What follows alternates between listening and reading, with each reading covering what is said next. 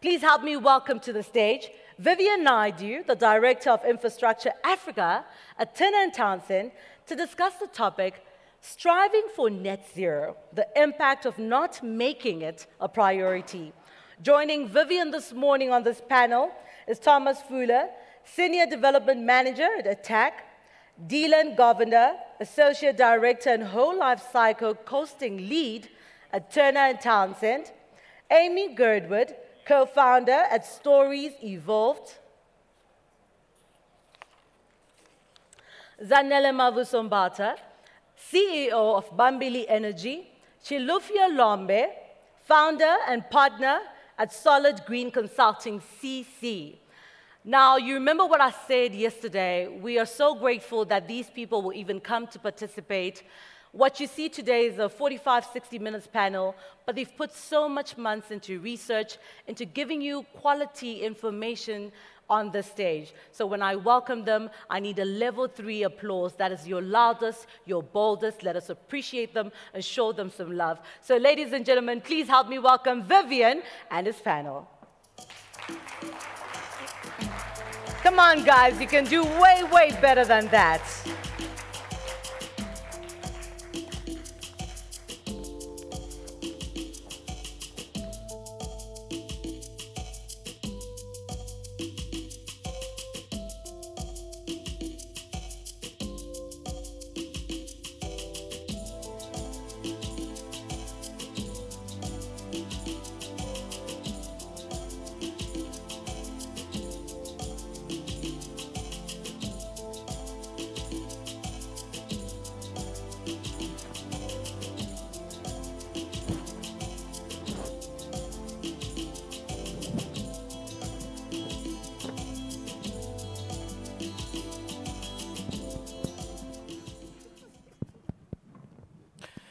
Good morning, everyone. Um, uh, hopefully, everyone had a good evening uh, and good day one. Uh, and uh, thank you for joining us uh, for this morning's discussion. Everyone's fresh, had a cup of coffee, which is great.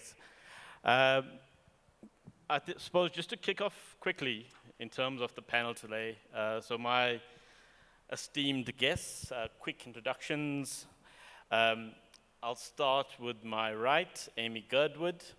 She's the co-founder of a company called Stories Evolved.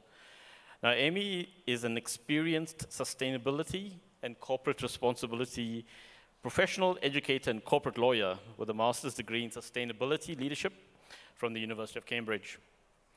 She spent six years in practice in South Africa and the United Kingdom with a focus on energy and procurement law before starting a professional life as an independent consultant and entrepreneur some of our focus areas relating to ESG opportunities, uh, challenges, laws, policies, programs, and governance processes. Next to Aimée is Zanele Mavuso Mbatha, the CEO of uh, Bambili Energy. Zanele has 27 years experience in the renewable energy industry, mining industry, and financial markets. Zanele is also the co-lead in the development of the fuel cell industry uh, she's currently involved in the first hydrogen corridor in South Africa with the South African and international co cooperations for the rollout of hydrogen fuel cells and trucks and buses. Importantly, she's been involved in some of the hydrogen economic hubs and uh, fuel cell training opportunities, training up to 35 engineers. In fact, some of Zanele's uh, work has been involved in, uh, during the uh, COVID pandemic uh, in terms of providing some of the backup power for some of the facilities. Next to Zanele is Deelan Govender. Uh, he's a professional QS with experience in commercial developments, public education facilities, residential, industrial projects. Um, he heads up the whole life costing service at Turner and Townsend Advisory Services uh, with an area of speciali specialization in running and developing total cost of ownership models, uh, focusing on renewable industries, renewables in the industry. Next to Deelan is Thomas Fuller. Uh, Thomas is a quantity surveyor, um, well, started as a quantity surveyor. He's now with the Attacq Property Fund as a senior development manager, focusing on the waterfall city. His interest lies in greenfields development with a strong concentration on green buildings, sustainable development, and investment fundamentals, portfolio resilience, whole life uh, analysis, net zero buildings performance, and reduced embodied carbon construction. And I think we'll talk a lot about that uh, in today's discussion. Last but not least is uh, Chilu, just off the highway at the moment, just ran in. Uh, Chilu is a mechanical engineer, uh, is also a director and founder and partner at Solid Green Consulting. So he's got extensive experience in both performance and accreditation modeling for sustainability projects and performed energy modeling for the first Green Star rated office in South Africa. So I think with that, we've got, we've got a uh, panel uh, who's, who's going to give us practical advice. And I think um, key takeaways that we want is what are the issues of today and how do we move forward? Uh, as much as the topic is about reset, we need to understand that we are still uh, grappling with some of the post-pandemic issues. We've got issues around low occupancy, there's pressure around um, rentals, uh, costs, future of work is having an impact for all of us in this, in this industry. Um, and amongst all of those competing for, for attention, is there still headroom for net zero? Uh, what, what does it mean in the current environment, current context? So today, we should try and get a view, what are the practicalities of it? Let's acknowledge what are the issues, and is there a way forward? How do we actually take it forward? What's, what's the opportunity there for us? Um, and I think that's what our panelists are going to tell us today. So, uh, Thomas, if I could start with you, you're, you're in the industry, constantly having to deal with, um, with, uh, with, developers, with tenants, occupiers. Um, what are some of the issues around the understanding of net zero? What, what does it mean for our, our, industry? And what's the burning case for change, and, and, and why is that not coming through in our industry? I suppose one of the biggest things is the definition of net zero and understanding exactly what it is and what you are trying to achieve. First of all, let's maybe say what net zero is in the context of our discussion today is around using a certain amount of electricity and theoretically using and developing and, and, and, and uh, putting a system in place of using renewable energy to offset that. And I think one of the things when you start looking at these sort of proposals moving forward is that everybody goes, oh, wow, I need something more, it's going to cost me more. There's a resistance to spending in the current market. There is headline earnings, there's uh, dividends per share, there's a whole lot of other kind of resistances from an investment perspective that are building a resistance against these sort of philosophies. However, legislation and all of these sort of uh, new systems and processes. You go King 4, you go ESG strategies, you go uh, um, all of these sort of uh, new uh, declarations that we need to put out in the market are actually driving us towards having to achieve net zero strategies. Us as Attacq property fund, and we're not the only one, uh, many of the, the, listed property funds have had to put out absolute targets currently. Um, that is our carbon footprint defined uh, based on S, uh, um, target analyses. We are now putting out in the public domain that we need to reduce our carbon footprint by more than 54% by 2030. But when you look at it really from the situation, 2030 is eight years away, but in South Africa and in Africa as a holistic continent, we are not facing an electrical uh, carbon footprint crisis in 2030. We're actually facing an electrical and supply crisis in 2022. And this is why it's becoming quite interesting. Obviously, you are all aware, and I don't think this could have come at a better time necessarily from a, a, a panel discussion, is that we're in stage six load shedding now. And the effect that stage six load shedding is actually having on the cost of occupation and the ability to recoup costs from tenants. And it, it, in our world, it's really about an investment. And our investment is the asset that we develop. The asset is then uh, basically let to tenants Uh, and tenants occupy that space so that their workers can produce more money. And if the cost of occupation becomes prohibitive, that of, of rental to turnover numbers becomes prohibitive to continuing, ladies and gentlemen, we no longer have an investment. And we no longer have something that actually has asset value that people want to invest in.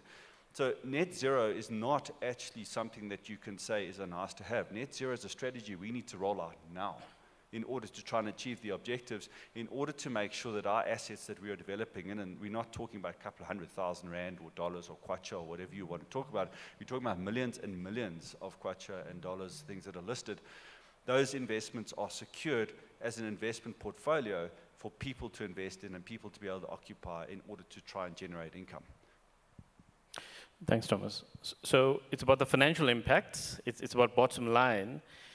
So then, Aimée, why are boards, executive C-suites uh, not imbibing this into their ESG response? Um, is it part of it, or is it just not featuring as part of that ESG response for companies?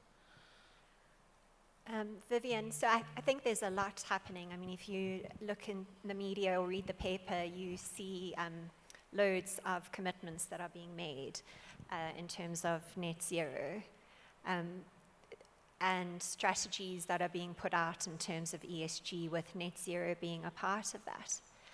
I think um, the issue is that there is a really big gap between those voluntary commitments and what is actually happening in practice. And those voluntary commitments and the speed and scale of the change that science says we need to drive in order to reach net zero and the required temperature range. I think that's for a number of reasons. I think it's, it's hard. It's hard to do things differently. It's hard to think about things differently. For so long, managing an organization, um, being a director, being a trustee, your fiduciary responsibilities have focused on returns. And what's happened with the changing climate um, is that those returns are being materially impacted by considerations that are not necessarily just in the short term. And I mean, so we haven't yet mentioned climate change, but all the science says that there are dramatic risks to the real estate sector in particular, globally, um, given its reliance on not just energy, but also on natural resources for the construction of the various materials used in the building, um, because of its reliance on the tr- transportation sector. So the real estate sector is heavily reliant on a lot of hard to decarbonize sectors. And these are all the issues that directors and fiduciaries, um, directors and trustees are grappling with. And I think one of the biggest issues is that they know there's a lot of noise around net zero. There's a lot of noise around ESG. They need to be doing something. They are told that it will give them access to financial capital. And certainly, banks are, um, are increasing their commitments, and investment houses are increasing their commitments in relation to net zero positive or ESG positive related opportunities um, disclosure requirements are increasing.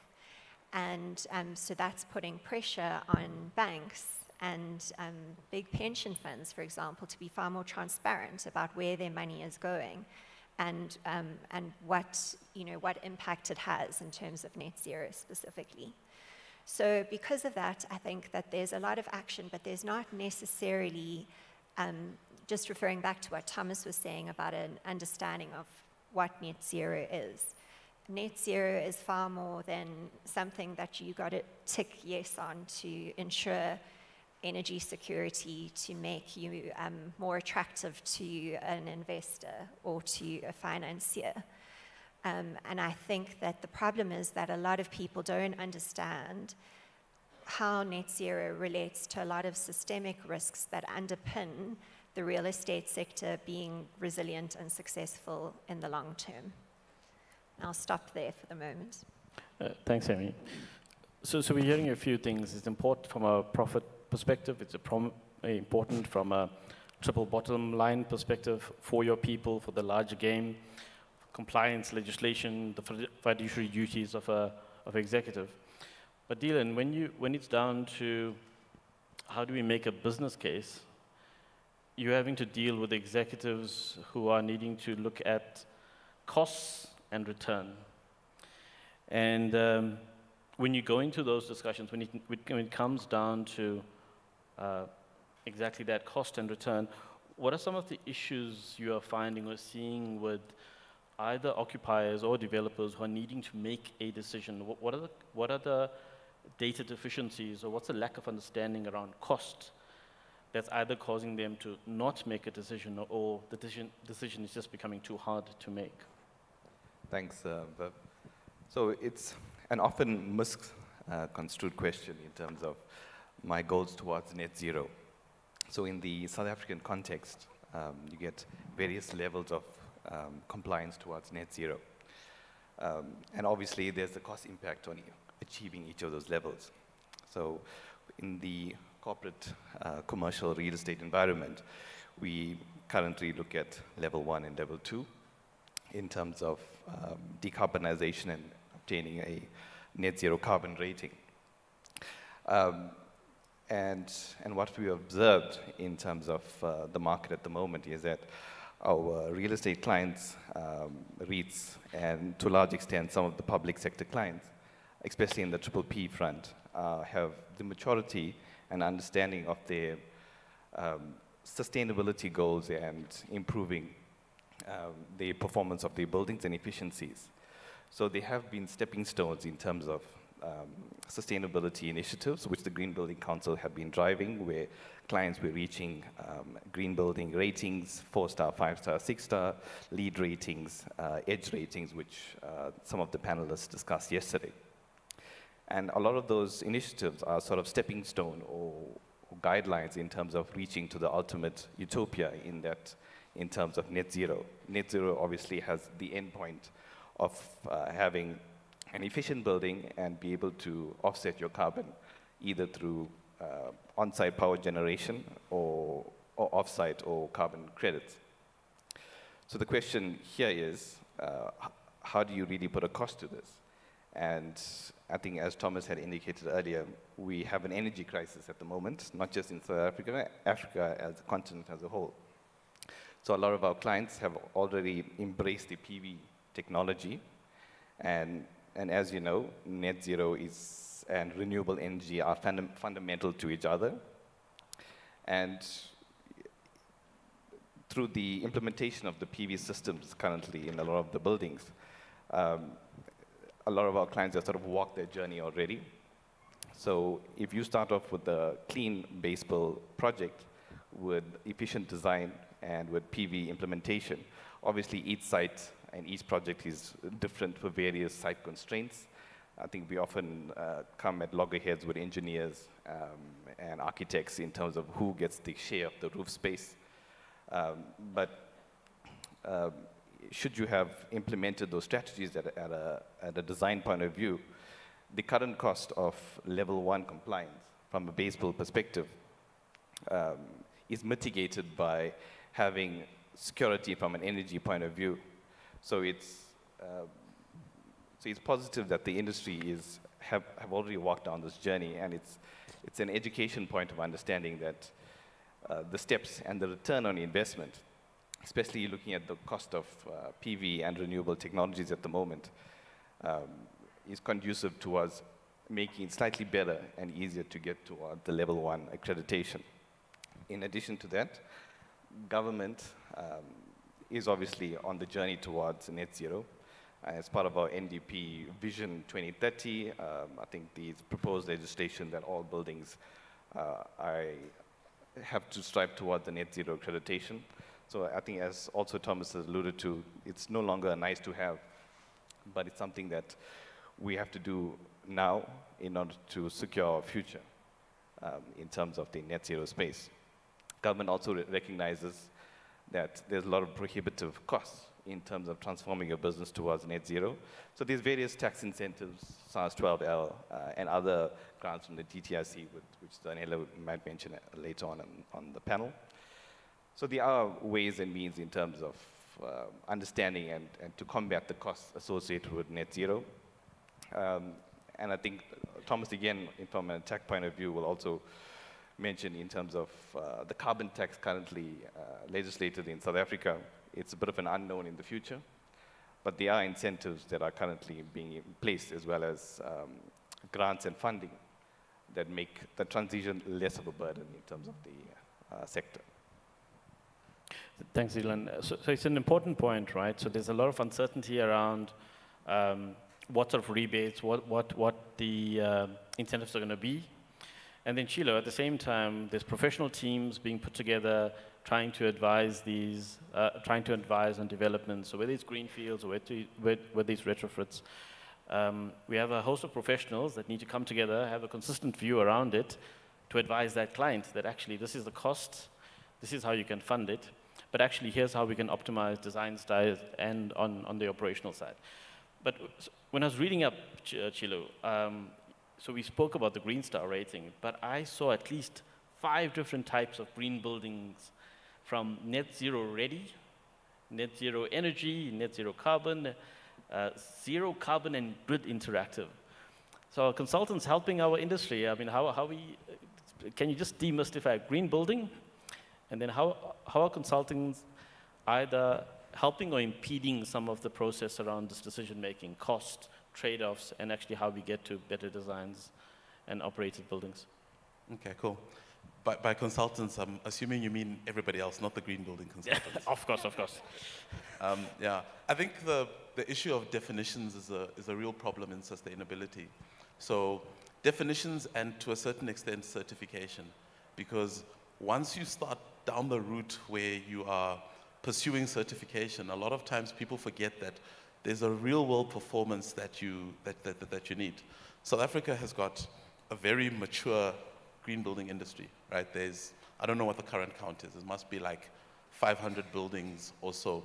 Um, the vast majority of those are four-star green buildings, right? So that means that for the last 10 years, we were doing just enough to say we're on this journey, but not really that much more. And because of that, the, some of the key principles that, that are required for us to continue to grow as an industry haven't really been adopted. Now you bring net zero in, and net zero is the most stringent um, sustainability target you can have. Four or five years ago at the Green Building Conference, just when we were really starting to talk about net zero, you know, I gave a talk and I said that we have to, in order to make this feasible, buildings have to use three to four times less energy than they're using now. Um, and now, fast forward to 2023, that's the reality, but not much has changed in the way that we, we approach things. So I think the, the first part is just understanding the, the definition of what you're trying to achieve and what it's really about. When you talk net zero, anything with net zero, people immediately think about renewable energy. And in reality, what you should think about is energy efficiency because before you overlay anything, that building needs to quantifiably be the most energy efficient you've ever worked on.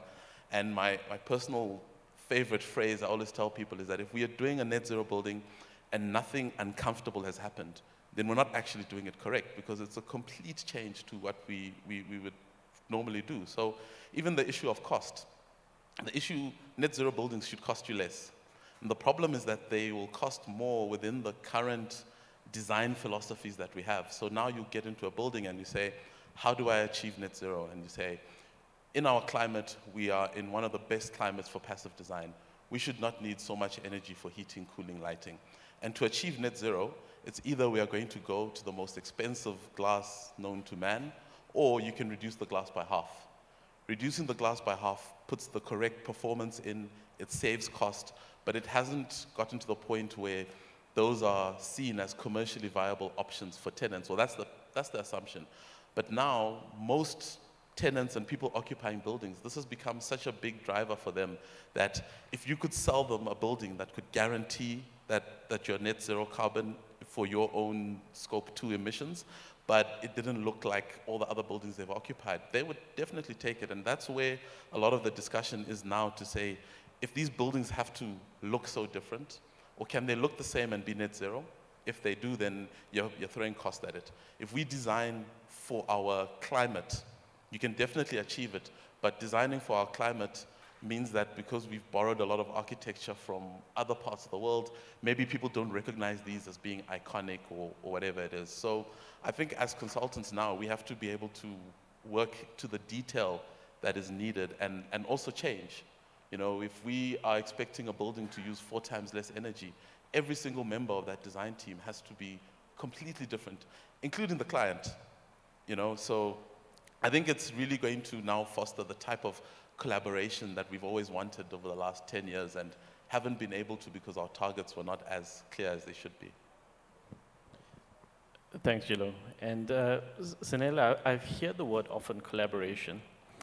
And you're trying to transform that industry. You're, you're doing pioneering work uh, in stationary power, backup power, um, you know, talking to developers, talking to professional teams, um, and, showing what's possible, not now, but also in the, in the long term. Uh, but it's still hard to, to help make that, that mental transition. Like you say, it's, it's a change. Uh, just what are your what are your views around OEM suppliers in the space and the power specifically, and, and what's preventing early adopters? What's preventing uh, looking at fuel cells as the as the option going forward? Um, so I think um, the common theme that's run across this panel is the issue of change um, and collaboration. And I think that um, change is extremely difficult. And when you are trying to embrace new types of technologies, um, it's not an easy thing. Um, and as Deelan was saying, there's the issue of how do you think about cost? And, and Thomas talked about how you need to think about return when you're running um, a business at the end of the day. So I think the, the challenge and the difficulty is that not everybody, uh, most people want to come on the train when they know that the train is going to have a successful ride. Um, and so our challenge has been finding those early adopters um, who are willing to um, embrace new technologies and think differently uh, and reimagine how we power buildings going forward. Um, and we, I think, uh, are very excited about the fact that in, within South Africa, we do have some players who we are already collaborating with. Um, and uh, it's interesting, it's on two levels. It's, it's developers such as Attacq, where we have a great collaboration, as well as with Turner and Townsend, where we are looking to do lighthouse, a lighthouse project around uh, the installation of a sizable fuel cell system in one of their buildings. And then you have the other end where we have customers um, or clients that we're speaking to who are tenants, and they uh, are very sophisticated um, uh, consumers of uh, renewables and understand the benefits of an energy mix that is green uh, and that can be, uh, become more sustainable by using fuel cells, and so are then demanding that their developer uh, um, uh, adopt um, this energy mix in order for them to be able to move towards their net zero targets. So I think it's, it's a combination of these early adopters who are really paving the way for the industry. And we, and we are very excited about what's to become, especially in the next year or two, as some of these lighthouse projects are brought into the, in, in, into the public domain. Uh, thanks, Zanele. And that's a great, uh, great punt for Attacq, Thomas. I think uh, well done being that, that first adopter. But um, what discussions are you having with tenants, occupiers? What is Attacq trying to do in its space and industry to actually try and breach this gap? So we spoke about we, we spoke about imperfect standards, imperfect definitions, but we're not going to get it right, right? Uh, oh, now we're not going to get perfect information uh, in the short term. So we have to make do. Uh, how's Attacq approaching that? Well, uh, I think I've got some good practical examples, and maybe to Chilo, uh, on my right-hand side, yeah, we've had some spirited discussions around these net zeros, and we've actually achieved net zero buildings within our precinct already. Um, and we've now seen them in operation, seen the benefits of these particular buildings, how they operate, what are the benefits for the tenant, why do tenants want to be in this space. So you look at the case, and you look at the way that you value buildings. You value buildings over a life cycle, over a whole of life cycle. You're now reducing the electrical consumption. You're mitigating the risk of impacts of macroeconomic uh, effects on the building operations. And all of a sudden, your, your yield and your return actually starts to make a lot of sense. Um, uh, in the project, uh, we we basically, we've got the net zero building. We've reduced, for example, electrical consumption that's a level one, so basically the base build system is off the grid, 100% powered by PV. We've reduced electrical consumption by, from 18, uh, between 18 and 20 Rand a square meter on a normal standard building down to 9 Rand a square meter, which the tenant actually benefits from. Um, and all of a sudden, you're starting to see this. that you are now softening the effect of Eskom in, uh, price increases by 50% on their cost of occupation.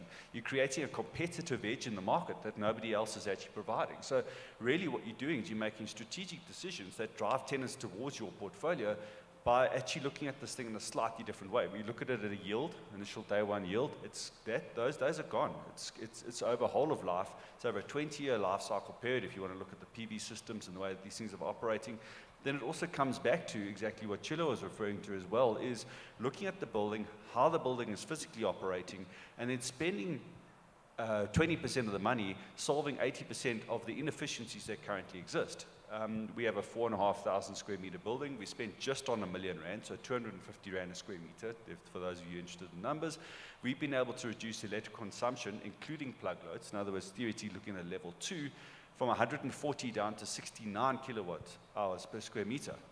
Now, the base case on that thing, the yield is 9.5 to 10% on that return, because I can still charge the tenants on utilities, but I build the, the, the, the um, negotiation and capability into my environment to be able to negotiate an extension on that lease because the tenant is now in a building that's actually producing less electricity. They can't go anywhere else. So I've created a strategic position for myself that they can't go anywhere. And then I speak to the ESG strategies where tenants, particularly blue chip tenants, are now saying, particularly the global blue chip tenants are now saying, you need to be in a building that is at this level.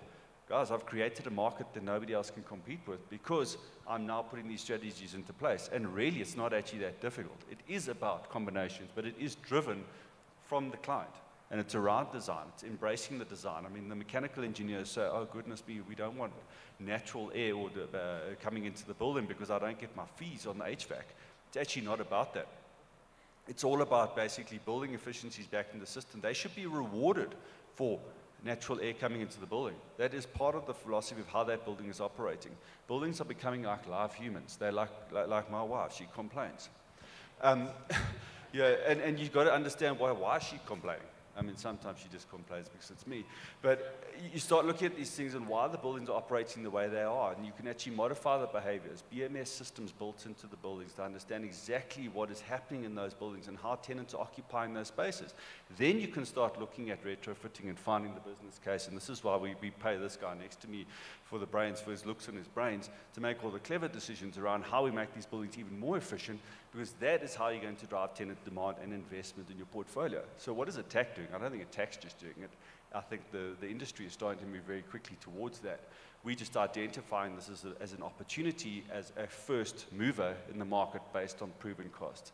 And not only are we doing that and we're actually reducing the cost of consumption, but we're doing it for the right reason. It's for the environment at the end of the day. Thanks, Thomas. And um, the MC did say it's internationally uh, streamed, so you better find a very green building to sleep tonight because you're not going home. um, so, so, Aimée, I mean, it's, it's um, uh, Attacq is a great example. I think it's uh, the exec, the board understands what needs to be done. But in our audience, if we've got you know, members of exec who are still mulling over, like you said, the noise, what's the next step? What's the first step to be done with that leadership so we get the tone at the top, we get the right messaging at senior leadership from an ESG and a net zero perspective? Well, I think in respect of the real estate specifically, it's to start by understanding what the changing climate, uh, both environmental and social, means for your business. So, for the assets that you hold, for the tenants that you rent to, for the talent that you have working for you who have a very different attitude about these issues. Um, clearly, if you look at that net zero and, and given the, the impact of um, the real estate sector on emissions, um, net zero is a material issue. Aside from the if you look at the business kind of case for it, I mean, we've spoken a lot about the operational side of things, avoiding business interruption because you've got continuous power, say, because you're not relying on Eskom. Um, paying much less for electricity over the longer term as it pays itself off, attracting blue chip kind of tenants. And I know that I, I work with clients who are professional services firms And in order for them now to tender for work for companies, they are being required to say what they are doing in respect of ESG and net zero. And part of that is definitely looking at the buildings that they are tenanting um, and the impact, the environmental impact of those buildings. But I think it's also important to look um, from a governance perspective a bit more broadly at, at your kind of business model. And at the end of the day, a business is reliant on its legal license to operate and its social license to operate. Um, we've spoken about the legal license. It is developing, it's slightly ambiguous in cases. I think what's happened is that the law has actually fallen behind expectations in society um, in terms of business, investors, civil society organizations. And I think that's actually generally how the law goes. It normally plays catch up. The risk of that for companies is if you are so focused on legal compliance that you actually lose sight of the fact that you are now operating in a way that is no longer acceptable to the society in which you operate. Um, for the clients that you want to um, tenant in your building, for the employees that you want to work for you. And, and so I think that is something that a board needs to look at very carefully. Um, McKinsey speaks about the fact that you know there's a lot of debate around ESG and what does it mean and is it relevant even if you look at the energy crisis in Europe and what's that, what that's meaning for people returning to gas for example.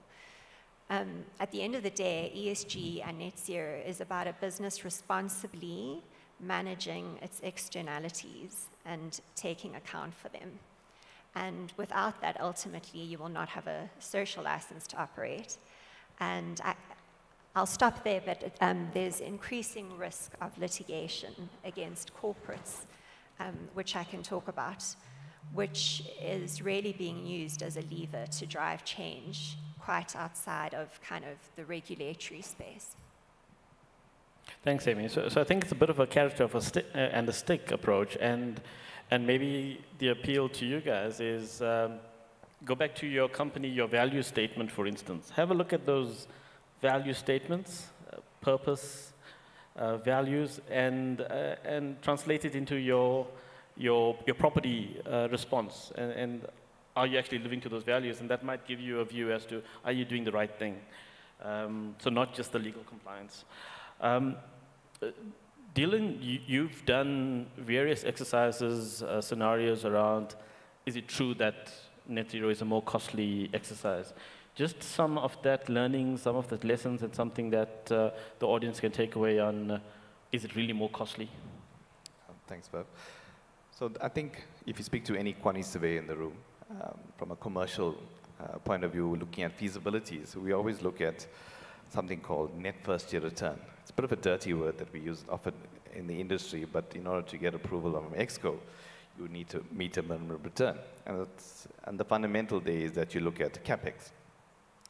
So I think as uh, Thomas had alluded to, there's more to an investment or doing a building than just net first year return. It's about looking at the whole life cycle cost of a particular asset. Where you look at not just construction, you also look at operation of the building, the income generated from the building, as well as the disposal of the building.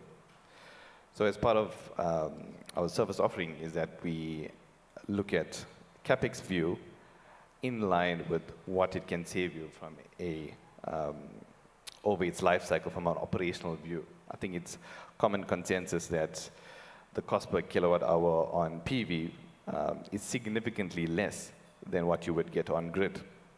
And we know that Eskom, with the current um, potential 30% increase next year, more and more so mitigates or, or um, in the positive towards uh, implementation of PV as an example. Another way of using whole life cycle costing, especially in the net zero space, is looking at, at alternative green energies. And we sort of touched on the cost of getting to a level one, and Thomas sort of alluded to level two from an occupancy emissions level. But we are on this journey towards going into level three from an embodied carbon point of view and level four respectively. So uh, Turner & Townsend, we have a embodied carbon calculator, which we are pioneering in the UK. Uh, one of the concerns, obviously, in the South African or African context, is that there's no um, data from an embodied raw materials point of view. Um, there's various platforms which you could use in terms of localizing the current uh, embodied or raw material um, carbon output. But what we are able to do in terms of whole life cycle costing and whole life cycle carbon accounting is that you are able to look at what a capex cost of a project is and look at the real cost over its life cycle, look at the nominal value, and understand what its NPV at as of today's uh, rate.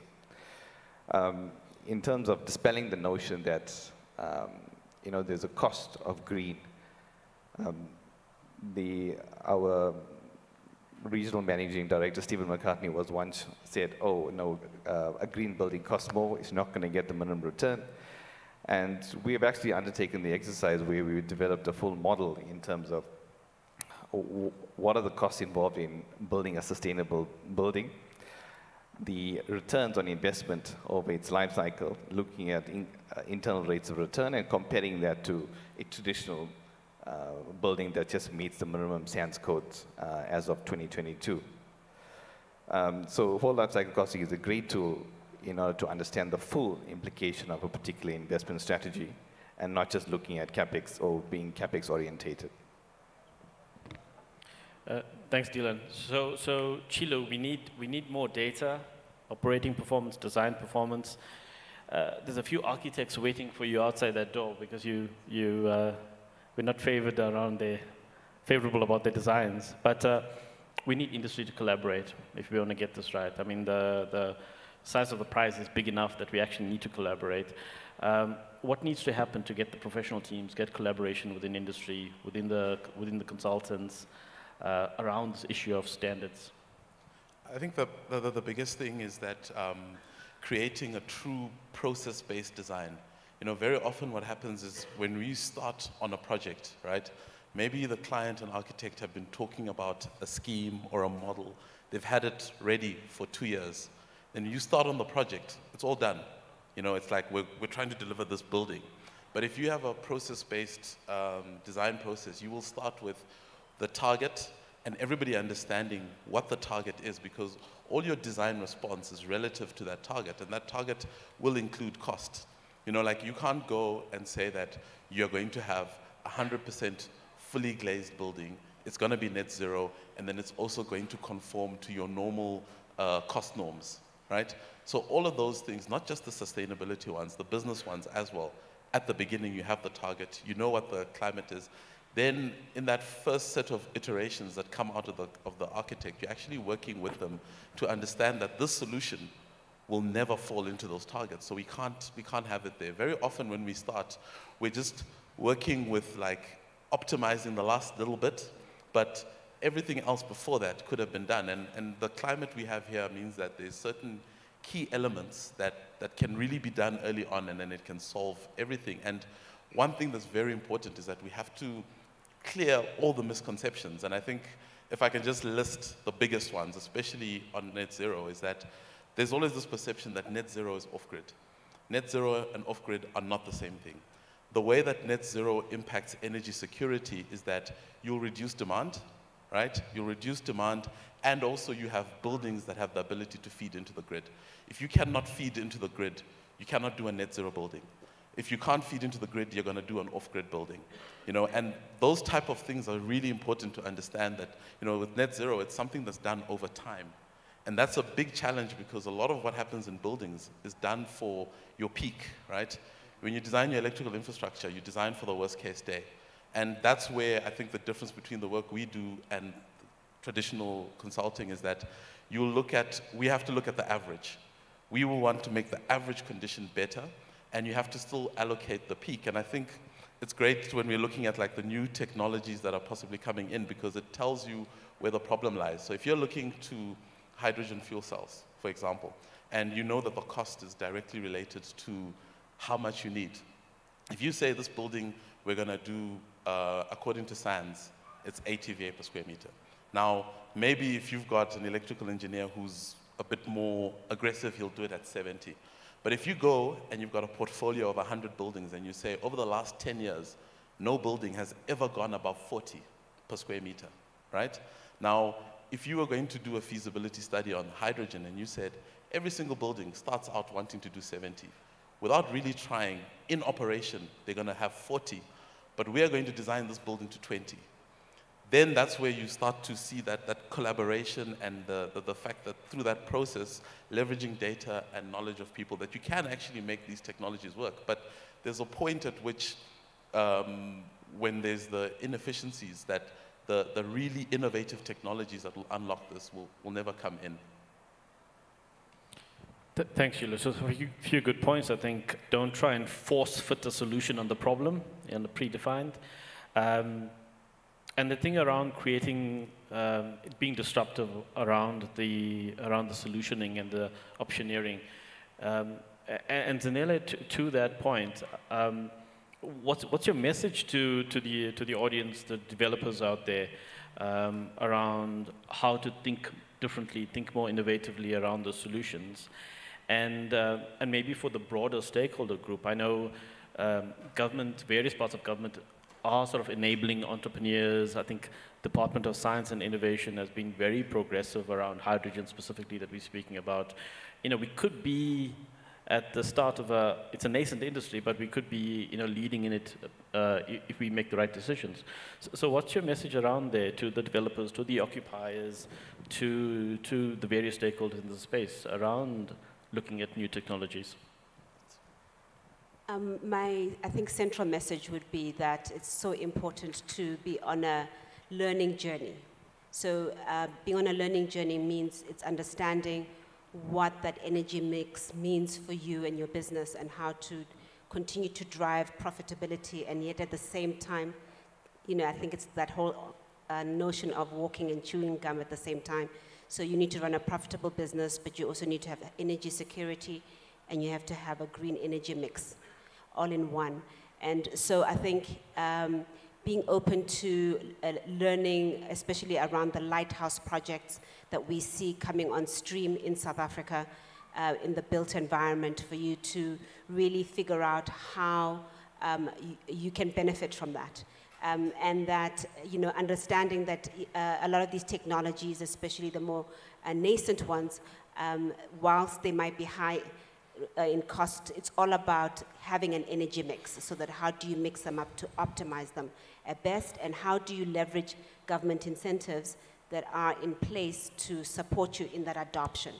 Um, so I think it's about, you know, uh, and, and, and some technologies allow you to scale up. So uh, having initial exposure and growing um, your use of the technology as you come to know the technology rather than standing on the, on the side of the road and, and waiting for it to take full hold. So I would encourage you to be on the journey. Thanks. Thanks, Anela. Uh, so uh, MC has guided me that we are going to soon run out of time, so we'll open up to questions from the audience. Um, I'm not sure whether there's a roving mic or how we want to do this, um, but if you put up your hand, I think a mic will make its way to you. And maybe while you think about that, and, and to anyone on the panel, are you greenwashing? Is this all hype? Chile. Yeah. I think um, that's probably the most exciting part of the industry. We're going into this phase where it's all about the real numbers, right? So there's a lot of stuff you do conceptually. There's a lot that you, you will, um, in the planning phase, you can talk about what you're doing. But the reality is, is that you're going into a portfolio and maybe it's all green buildings, right? And they think that the path to net zero is very easy. Now you start to look at the real numbers, and the real numbers are off. They're not what you thought. So you have to solve that, that real, real numbers. So definitely one of the things with net zero is that the definition is very easy, right? It's zero. It's not like Green Star where you've got like, you know, there's this matrix that you have to figure out. So the performance you need is very simple and the reporting is very simple. So if there was anything around sustainability that, that would not be uh, greenwashing, it would be this because you, you have to put your real numbers up and you have to put them up forever. You know, it's not like you, you get to say it once and then it, you, you, you, you carry on. So I think that's, it's exciting, but it also puts a lot of risk because if, if, if it's not working out, you know, it, it becomes a big problem. Yeah, please. Um, I, I, just wanted to add to that. I mean, I think the, the risk of, um, in terms of greenwashing, is there's such an incentive to talk up what you're doing and talk up your commitments because it will make you so much more attractive to clients, to investors. Um, and, and one of the issues we face is that many companies have made um, many commitments but it's actually quite hard to figure out what the underlying numbers are and to hold them accountable. So, for example, if you take a look at the Science Based Target Initiative, um, I think there's something like 30 countries in Africa that have signed up as in committed to it, and 12 companies that have actually established targets that they're going to be held accountable for. So it's, um, it is a space to watch, and it's certainly an area of growing risk um, and I think just relating to Zanele's point earlier about um, understanding, I think that um, as, as a corporate, as, as people and organizations, one of the biggest things you can do is upskill yourself and your staff and your suppliers and to understand what these things mean so that you can interrogate the issues and ask the right questions so that when you make these commitments, they are credible and they have integrity in them. Okay, perfect. Thank you. Sorry, Sorry I think um, I think the question towards Aimée is the relevance of net zero in the African continent. So I think we know in terms of the overall carbon emissions of Africa as a continent relative to the rest of the world, I think we're less than 5% as the entire continent. Um, however, net zero obviously being imposed on, on, the, on the continent, do you think it's unfairly or unfair to the development of the economy in Africa that we are imposed with the same restrictions from a net zero uh, or from a carbon emissions point of view. In that, number one, the Western world or the first, first world countries sort of have based their economy on a very carbon intensive uh, economy and are sort of only uh, introducing sustainable initiatives, whereas Africa was always catching up do you, do you feel that it's an, a burden that we shouldn't really walk down at the moment, or do you, are we, is it part and parcel of the journey? Yeah, I mean, it's such a, um, it's a tough question, but I think what I would say to that is, first of all, I, I looked at the um, report from the International Energy Agency and the World Bu- Green Building Council released last year. Um, Africa contributes to 10% of the global greenhouse gas emissions. Um, and the issue is, of course, that we all operate in a system. So even if, um, you, know, whatever the one person does impacts the other country, it's like being on a sinking ship and bailing out a bucket on the one side. Um, what I, it, it is true that um, Africa has, um, has, uh, has struggled, has um, been prejudiced. And um, in that respect, I mean, I think we're not seeing enough movement in terms of the funding that's been promised through the international climate negotiations from developed countries to Africa, for example. And I think that that's going to be a very big topic at this upcoming COP. But at the end of the day, from, I guess, from a more selfish perspective, the reality is that if you operate and own a real estate business, your assets are at risk from the impact of climate change now. You can see that from the floods that happened recently in Natal, for example. So, you not taking action on it means that you are putting your assets at risk and you're putting your business at risk because these changes are going to happen in terms of the regulations. It's what we call transition risks. Um, and so you need to be prepared for them. If I go to maybe a slightly more practical thing in this current environment. And yes, it's 5% and it's this and all of that. But we face in Africa an electric electricity crisis, let's be honest. And you need to have an occupancy certificate for your buildings for people to actually occupy it, for them to pay you rental, for them to actually have an investment case. If we can't provide electricity in a failing infrastructure, and a failing environment, we actually don't have an asset. We don't have an investment value. And that's why, to me, while Africa might be 5% and might be this and that, we're facing slightly different challenges at, as an ability to operate the assets for their intended purpose is now at risk. And that, to me, becomes a stranded asset in your entire portfolio. And that is really what we're trying to alleviate is the investability of our portfolios and people wanting to invest in those portfolios because they have consistent income. To me, it's a very different approach to that of Europe. They don't have the same sort of risk processes. They are high carbon users and they're looking at it in a very different way. In Africa, we're facing do we have electricity? Do we have water? Do we have this? Do we have that? If we don't have those fundamentals in place, ladies and gentlemen, you can't occupy the building. Nobody's going to pay you rental for it. MC is about to kick us off, but Chilo. Cool, yeah. I think just on you know the, the question around the, the rest of Africa. The rest of Africa, and I think now maybe we can include South Africa in this uh, category now. The rest of Africa largely powers itself, right? Especially outside of, of Southern Africa. The last four or five years, we've done a lot of work developing a building energy code in, in Nigeria. And what, when we talk about net zero, you know, we keep saying that it's about a high level of energy efficiency.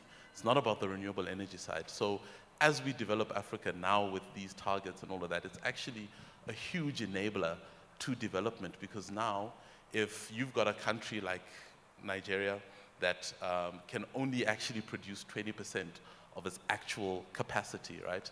They've got a massive housing deficit. And if you could bring on 100,000 homes at a quarter of the power demand, right? It actually means that you can actually uh, grow. So net zero and all these sustainability targets that we have are in no way a hindrance to development in Africa. In fact, those are the right sort of targets for us to start growing our property industry because the whole reason why there's the risk of Africa is that we're about to start growing. And we have to leapfrog that, you know, 100 years of inefficient design, not designing for your environment, mm-hmm. all of those things, and we just start there. But the incentive is more than there, you know, if you have to, you can imagine in South Africa if every single business had to operate and they were running their own electricity. Like I think if you go to a office block or a apartment building or something in Lagos and you see like a row of generators, you see the reality of having to generate your own power, then you see the real impact of reducing demand in terms of the benefits it, it will have. Thanks, Chilo. We have to stop, but I think, MC, the takeaway is that reset will include net zero. Thank you very much. Thank you to the panelists. Thank you so much. Please help me with a round of applause for our amazing panel.